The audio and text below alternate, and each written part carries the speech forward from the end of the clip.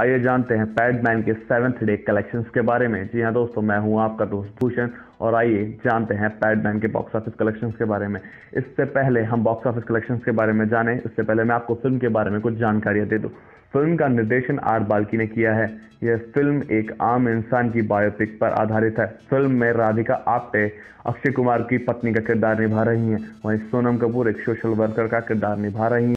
जो कि अक्षय कुमार यानी ज्योति के पैडमैन बनने के सफ़र में उनकी मदद करेंगी। फ़िल्म देखने के बाद दर्शकों को अक्षय कुमार की एक्टिंग बेहद पसंद आई थी। उन्होंने अक्षय कुमार की बहुत तारीफ़ करी थी।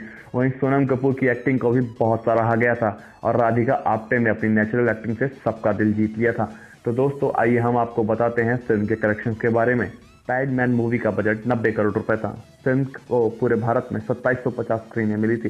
फ़िल्म के फ़र्स्ट डे का कलेक्शन था 10 crore and 62 lakh rupees film के सेकेंड डे का कलेक्शन था 13 crore and 68 lakh rupees film के थर्ड डे का कलेक्शन था 16 crore and 11 lakh rupees but film but film के फोर्थ डे का कलेक्शन काफ़ी धीमा रहा और फ़िल्म ने केवल पाँच करोड़ पिचहत्तर लाख रुपए ही कमा पाई।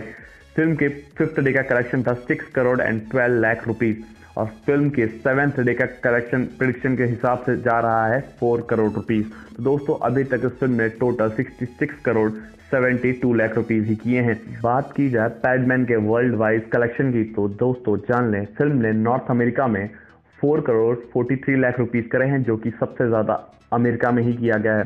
यूनाइटेड किंगडम में फ़िल्म ने 90 लाख रुपए ही कमाए हैं। ऑस्ट्रेलिया में फ़िल्म ने 84 करोड़ रुपीस कमाए हैं। न्यूजीलैंड में फ़िल्म ने 52 करोड़ रुपीस कमाए हैं। मलेशिया में फ़िल्म बुरी तरीके से पिट कर एक लाख रुपए भी नहीं कमा पाई। जर्मनी में फ़िल्म ने पाँच लाख रुपए कमाए हैं। फ़िल्म का टोटल वर्ल्ड वाइड कलेक्शन है 73 करोड़ 47 लाख रुपीस तरीके से फ़िल्म का टोटल कलेक्शन होता है 131 करोड़ 17 लाख रुपए।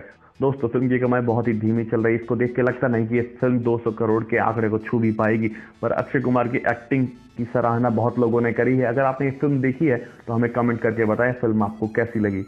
अगर आपको न्यूज़ आई हो पसंद तो इसे लाइक करें और हमारे चैनल को ज़रूर सब्सक्राइब करें, क्योंकि हम देते हैं हर खबर सबसे पहले।